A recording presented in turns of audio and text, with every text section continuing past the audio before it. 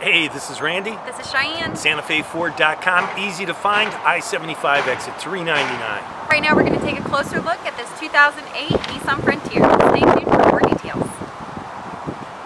This 2008 Nissan Frontier has alloy wheels, a remote keyless entry with solar tinted windows, running boards, a hitch receiver, and a sprayed in bed liner.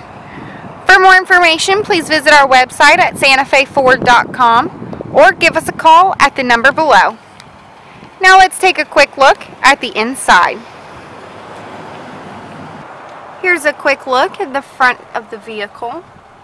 These seats are gray cloth and there is a little wear and tear in the driver's side seat. This vehicle has powered windows, locks, and mirrors. Here's a look at the dashboard. The steering wheel does have cruise control. And in the media center there's AM FM radio with a CD player, climate controls, and a 12 volt plug-in. There's your shifter with two cup holders, and on the inside of your armrest there is an additional 12 volt plug-in.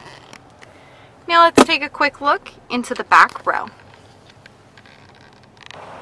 Here's a look in the back row.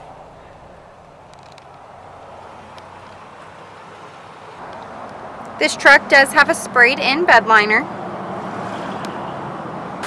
Under the hood is a V6 4.0 liter engine. For more information on this 2008 Nissan Frontier, please visit our website at santafeford.com or give us a call at the number below. My name's Cheyenne. Thanks for watching.